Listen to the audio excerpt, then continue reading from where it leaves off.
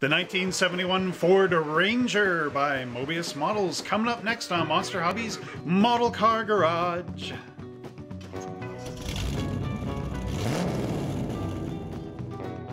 Hello everybody and welcome back to our home on the range where we get to drive our 1971 Ford Ranger by Moebius Models.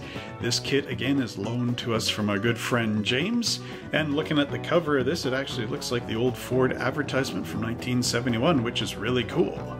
Anyway if you love these great videos don't forget to like, subscribe and share this channel with all your friends and family click that notification bell down yonder so that every time I make a new video, you're the first ones to see it.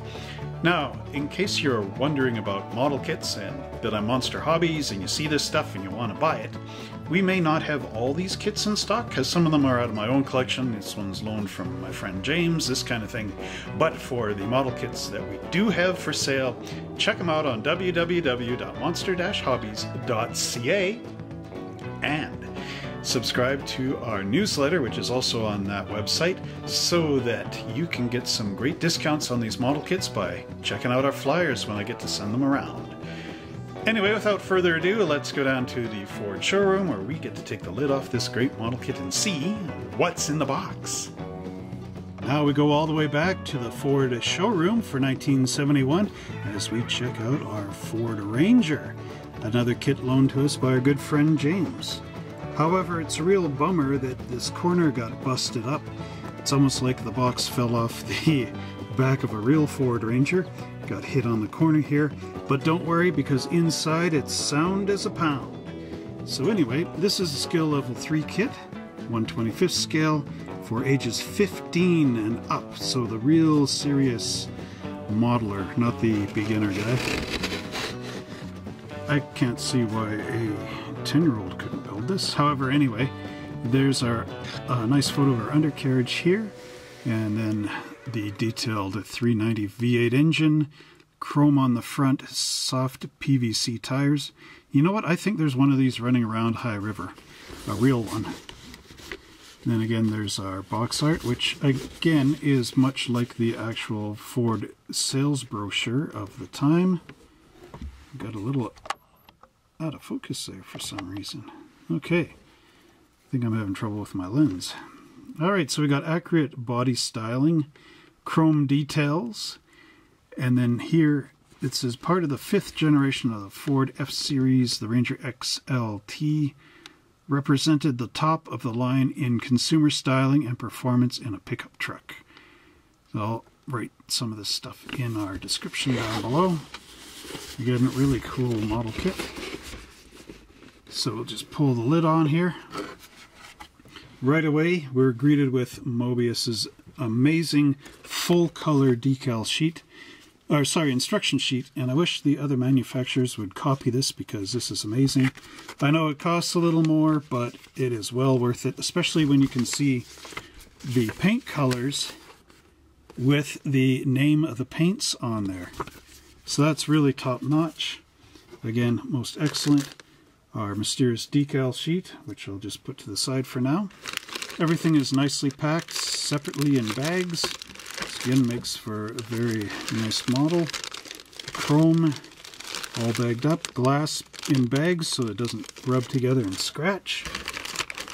And we have our tires separate so they don't sit on plastic and burn through over the decades, which is terrible when you get an old vintage kit and you find out it's tire sat on your glass and burned a hole in it. Anyway, so there's our gray plastic components. Lots in the bags. Sorry, it's not gray, it's sort of like a tan color. in case you're trying to adjust the color on this, sorry. Pardon me, pardon. Anyway, again, very nice. Now I have reviewed some of these trucks in the past, so I don't think there's too much structurally different on the plastic components. But once I clear all this out of the way, we will take a look at our instructions and then check out these parts. Suddenly it's 1971 again as we get to review these amazing instructions and I get to give you the lowdown on just how amazing this kit is. So here's all our important read this first stuff. Painting your kits, the keys to the parts, and our decal application guide. So yeah, very nice. Just open this up. And now, like I said in the past, I've done a, a few, I think this is my third review of this type of truck from Moebius. And it gets better every time I do it. anyway, so here's the skinny on the front end. This kit really reminds me of the AMT 1953 yeah, 53 Ford pickup truck. It's laid out exactly the same, and that's what I love about this. And I would like to build a few of these from Moebius, actually. So there we've got our uh, front cross member here. We've got our motor mounts separate and our steering box. And there's our left and right twin I-beams going in, as well as we've got our radius rod down here. All this is being glued onto a nice frame. And then if we just slide this up here, you can see that we've got our left radius arm and our tie rod slipping across here. Uh, then our sway bar and our linkages down here and our rear axle and differential going across there for the next steps. It says note how tie rod feeds through holes in radius arms. Now going into the rest of this, I get some really good vibes here as I glue on my rear leaf springs. And then we have this nice long exhaust pipe going on. And it says, note that exhaust pipe weaves through length of frame. Rear of exhaust pipe fits beneath rear cross member and front section fits over middle support bar. There's our differential that we did in the first step, getting glued in under the springs and under the exhaust and then our rear shocks going in. And then much like that AMT 53 Ford, we have our tire, our spare wheel, and the spare wheel center going, or carrier, pardon me, going up into the back. Step two is showing the wheels going into the tires. And these are just two pieces, so there are no wheel backs. However, we do get these nice brake backer plates that glue in on our pins. And then the wheel will go on there as well. And as we slide into our last panel here, you can see the wheel covers popping onto the steel wheels. Now there is one groovy component about this kit that I don't think was in the last two trucks that I reviewed. Here we have a Ford V8 sitting underneath here with the two engine block halves going together, the oil pan underneath, and we've got an automatic transmission for easy cruising going on the back. And then we've got our cylinder heads going onto that nice engine block. And as we slide it on down, do the slide, we have the fan going into the fan belts and pulleys, the alternator gluing behind, a water pump, and our front engine cover all gluing to our automatic block.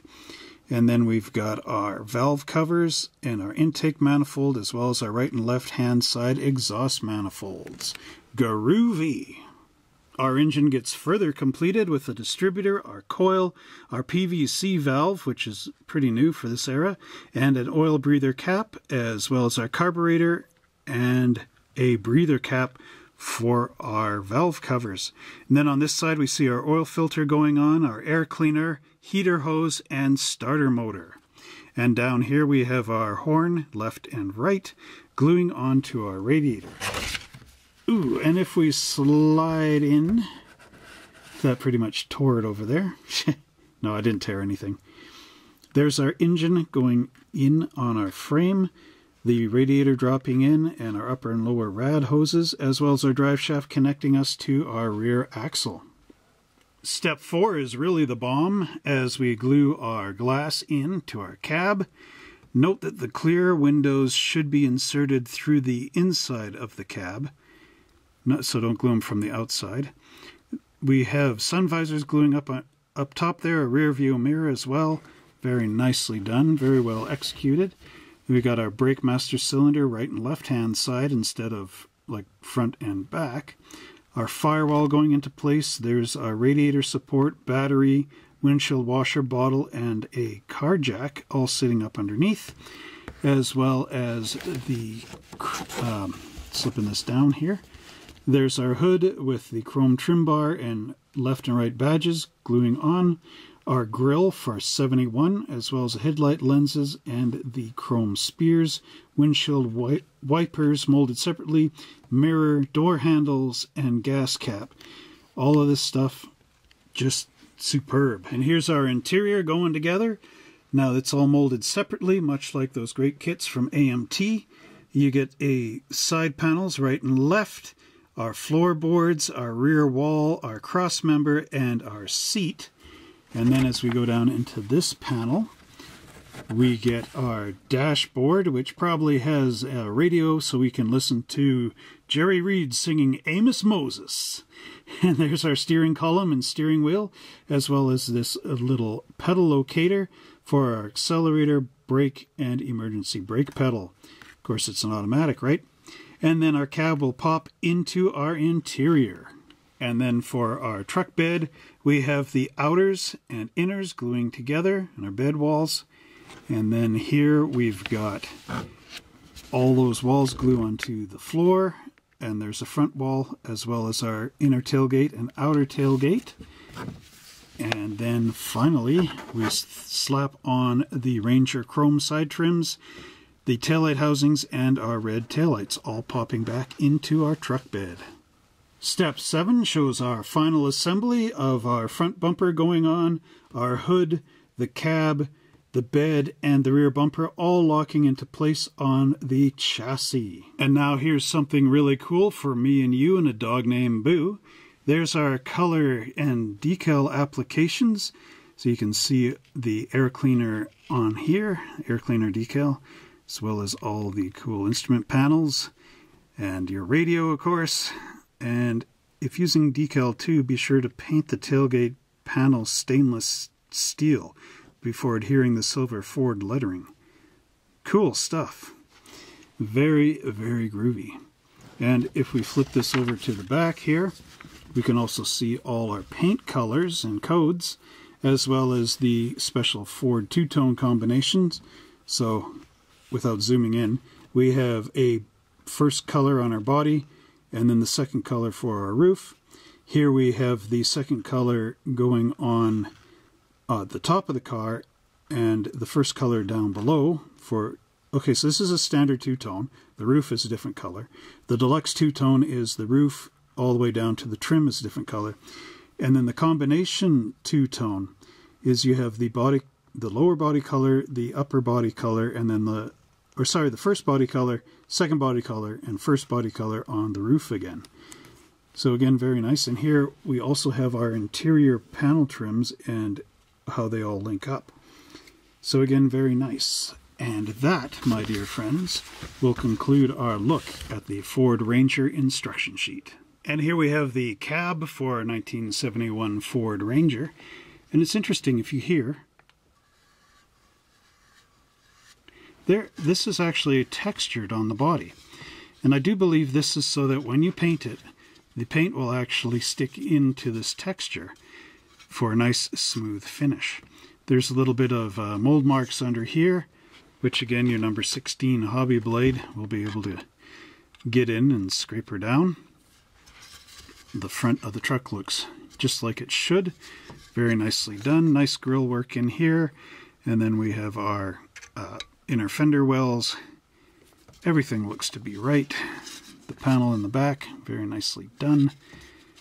Again, much like the other kits that I've reviewed of this same subject, but very, very well done on the behalf of Moebius. Here's all the parts in our first bag, and as you could tell from pulling them out of the box, there are a lot of bags we're going to be seeing.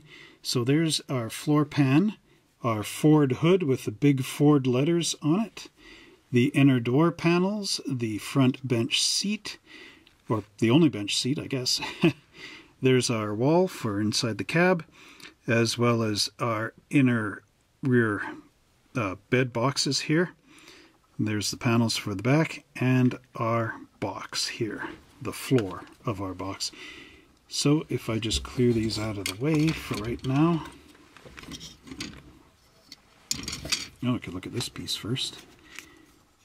So there you can see the nice detail in there, just like the real thing. Whoop, a couple of mold marks in the back here. You could uh, hit that with some sandpaper because you've got a nice clean shot. These ones down here, again, that number 16 hobby blade. There's our floor. You can see the nice detail on here. If we turn it upside down, we get the cross bracing. There are sink marks in here, unfortunately, plus some raised mold marks. These ones are okay because they're underneath the seat, but again, you will know what you want to do there. Scrape them down or not. Some detail carpet in here. Very nicely done again. Here's our front buckets or bench seat. You can see the nice upholstery pattern in there, just like the real one, 71.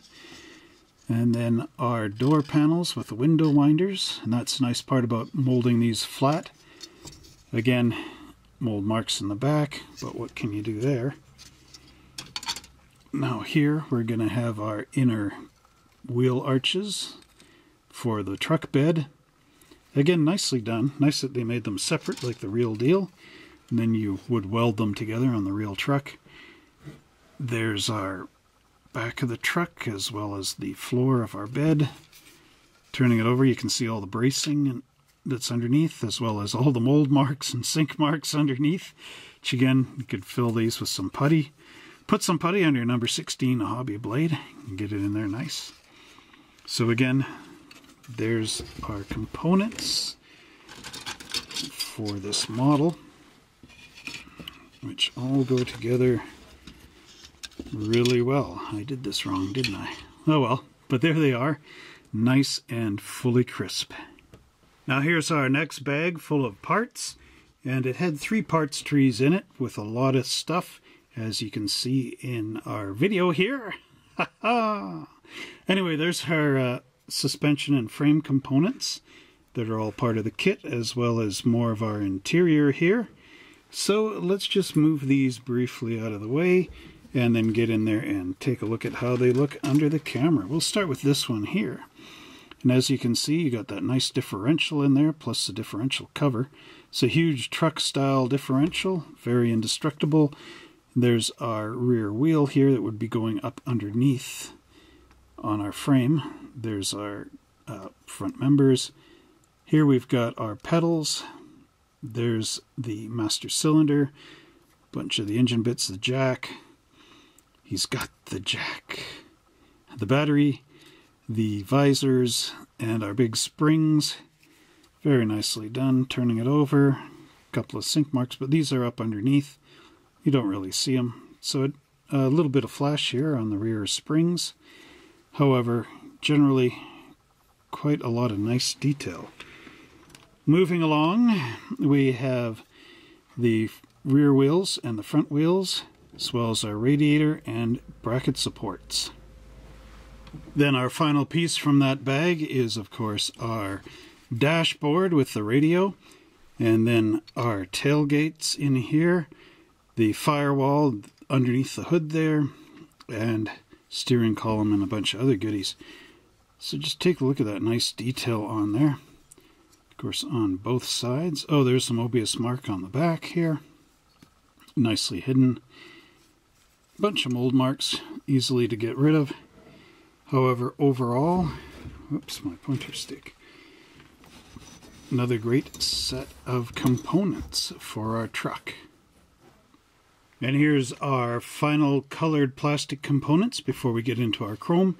There, of course, is the nice big perimeter frame, our automatic transmission, the intake manifold, the pulley, and the fan, as well as our drive shaft, our rear tailgate, our engine block pieces, and our cylinder heads, front water pump. There's the coil, I do believe uh, oil filter, steering wheel, the air cleaner. Oh no, that's the coil. This is something else. Probably the starter. uh, anyway, there's all the rest of our engine components and our exhaust pipe. And let's bring this up into our camera. Starting with, actually there's two pieces here, so look at the nice detail on there. Very well done, very nicely executed air cleaner and steering wheel. There's our tailgate with the engine block. Nice Ford lettering on there. Very nicely done. And we've got our frame here. Quite a huge piece of plastic. And there's our automatic transmission looking just like how it should. Turning this over you can see our intake manifold there. And then all that nice detail is even a little tiny clip right there. So again, very nice work from our friends at Moebius. Great frame. All right, let me clear all this out of the way and we'll take a look at our chrome goodies. And here we have my favorite parts of all the model cars, and that of course is our chrome. And here's something kind of interesting. You get some Cragar style mag wheels in here, which is kind of cool. But there's our stock hubcaps as well. And uh, again, our bumpers and valve covers and whatnot. Door handles, rear view mirrors, and our distinctive 71 Ford grill down here, as well as the Ranger side spears for both the box and the truck, the cab. So let's just move these out of the way and we'll look at them bit by bit. Maybe not those smaller pieces, but anyway, here's our Ford grill. And as you can see, it the back is out of the grill, so you can actually see right through it, just like the real thing. So I do believe you want to paint behind your firewall black, or not your firewall, but your rad support. So when you look in, all you can see is the black and the nice chrome grill sticking out. Should be good. There's those wheels. And again, the nice detail on those mag wheels. Sort of an optional deal. And even the hubcaps here are uh, hollow through the back. They have the holes molded in place. So just like the real truck, it's the beauty of our side spears in there. Tapered and to the right shape. There's our rear bumper, front and rear bumpers, the tail light bezels, the side mirrors, more of the little script for your hood, the chrome across the top of the hood, our valve covers, and the windshield wipers. All of these pieces, of course, get top marks. And then, of course, on the little trees, we have our door handles, a rear view mirror, and a gas cap. So again, very nicely done by Moebius. Just like a real 71 Ford Ranger truck for when you need to go camping and get out on the range and haul all kinds of great things. Here we have the clear plastic components. I'm just going to leave the red tail lights in the bag here because it's a little bit, uh, you know, as a courtesy for James, of course. but there's our glass here, and as you can see, it is sunken in a bit around the edges.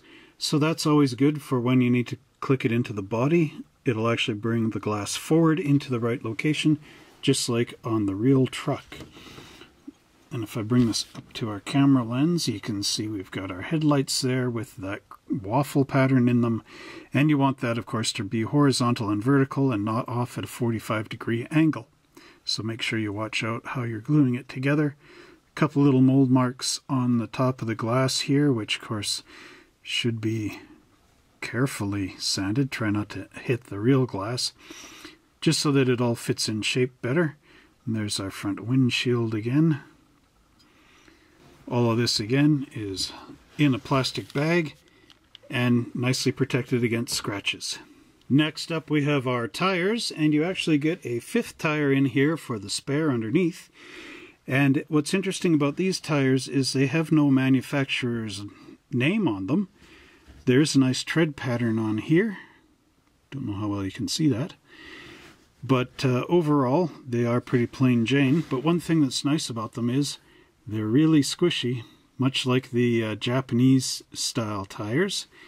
Maybe not quite as squishy, but still very nicely done, and they'll look excellent under your Ford. And last but not least, we have our decal sheet. It's not quite as big as the one that was in the 69 and 70 Ford truck kits. However, it is pretty cool still. You get the nice wood grain back panel with the Ford letters in it. Or if you don't want that, you have a choice of two different Ford letters. Then we've got our Ranger script here and our side marker lights, or actually a side script here. And then we've got our air cleaner decals, as well as the instrument panel, an auto light, and a small Ford oval. And that's a skinny on our 1971 Ford Ranger by Moebius Models. And if you've built this model kit back in the past, we want to see your pictures over on our Monster Hobbies Facebook page. And how did you like the build? Did you find it quite easy to go together? Did you like it? What colors did you paint it? Let us know all in the comments down below. Well, I sure hope you enjoyed that great model kit review and tune in next week for another great unboxing video. And thanks again to James for letting us borrow his model kit so we could explore what's in the box. Now, if you love these great videos and want to support us down here at Monster Hobbies, don't forget to like, subscribe, and share this video with all your friends and family. Pound that notification bell down yonder so that every time I make a new video, you're the first to see it. And if you really love model cars and want to buy some, uh, shop with us, please, at uh, www.monster-hobbies.ca and sign up for our newsletter so that every time there is a great deal on model kits, you're the first one to know it. And until next time, everybody, have fun out there with your Ranger on the range.